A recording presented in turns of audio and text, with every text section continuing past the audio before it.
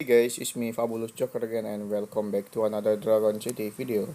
Today I will summon the new Heroic Dragon in Dragon City. It's High Robo Dragon.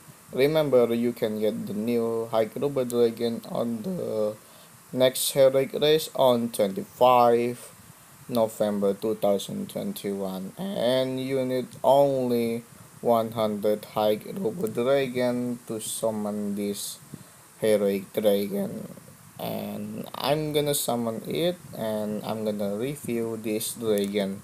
And here it is hope you enjoy my video